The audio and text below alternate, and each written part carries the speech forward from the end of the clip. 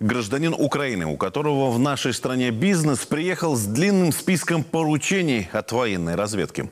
Кроме конкретных задач, в нем содержались и задания, связанные с мониторингом общественно-политической ситуации в стране. Для чего, нетрудно догадаться. У агента также был обнаружен документ за личной подписью главы военной разведки Украины Буданова. Именно его Россия сейчас обвиняет в организации терактов. Но давайте все по порядку. Если мы предложим вам съездить в Беларусь и пособирать какую-нибудь информацию. Мне-то все равно, я на Украине, вот да, товарищу полковнику, то, ну, типа, эти видео могут не понравиться. Кого вы имели в виду, товарищ полковник? Вашего президента. количество войск, какие роды войск, какая техника. Но обо всем по порядку. Перед нами очень интересный документ. Начнем с подписи Кирилл Буданов, начальник Главного управления разведки Украины. Человек, кого официально назвали организатором подрыва Крымского моста.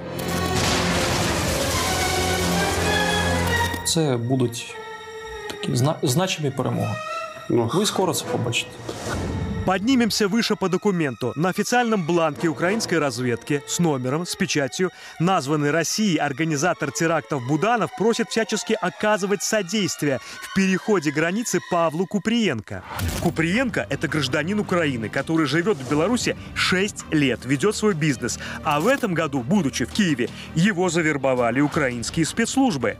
Он сказал, что я представляю, дословно цитирую, определенную службу. Мы знаем, что вы много лет работаете в Беларуси. Мостиком между украинским бизнесменом из Беларуси и военной разведкой Украины стал Олег Сердюк, знакомый по бизнесу. Вот здесь он в деловом костюме, а здесь уже в форме и с оружием. С его подачи Куприенко звонит некий Роман. У него австрийский номер. Он говорит предпринимателю, что находится за границей, а свяжется с ним Евген. Через несколько дней с ним и происходит встреча. Потом еще с одним спецслужбистом Сергеем. Если мы предложим вам съездить в Беларусь и пособирать какую-нибудь информацию. В отношении сбора сведений на территории Беларуси вам кто предложил? Евген или Сергей? Ну, они, оба. я, я сейчас не скажу, они были вдвоем. После вербовки Куприенко у него появился псевдоним «Снейк» с английского «змея». При содействии разведки ему удается быстро выехать из Украины и направиться в Беларусь. Уже с заданием собрать интересующие украинскую разведку сведения. И это 30 пунктов интереса украинской разведки. Например, слежка за железнодорожными узлами, перемещениями военных приграничье, размещение комплексов РЛС, ПВО и далее по списку. Чтобы было понятно, имея такую информацию, проще наносить ракетные удары и организовывать теракты, конечно. 11 пунктов списка – это задачи с точными геоданными военных объектов. Отдельно выделим темы мониторинга ситуации в Беларуси на предмет готовности деструктивных сил совершить госпереворот. Украина и этим занимается. А еще ее интересует информация о лицах, которые, наоборот, поддерживают власть, их личные данные. Вот зачем такие сведения? Может организовать убийство, по примеру, Дарьи Дугиной?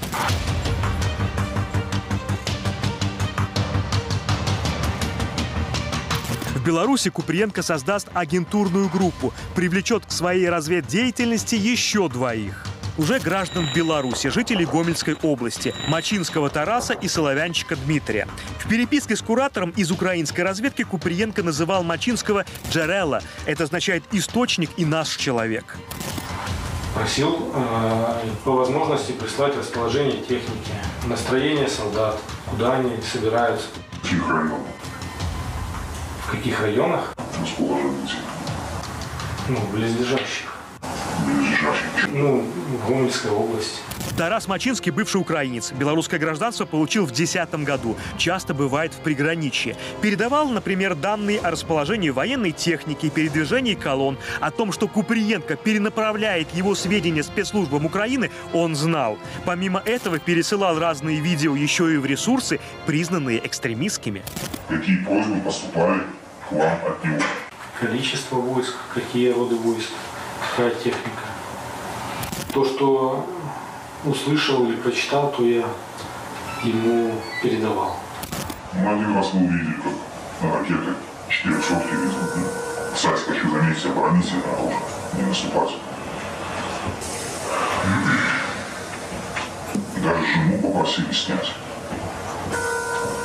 За участников сделали. Не стыдно? Мать троих детей. Второй контакт Куприенко – Дмитрий Соловянчик, курьер в компании бизнесмена. Там же работала бухгалтером его мать. Кроме сохранения в телефон роликов с убийствами русских военных, снимал сам и просил близких делать вот такие видео.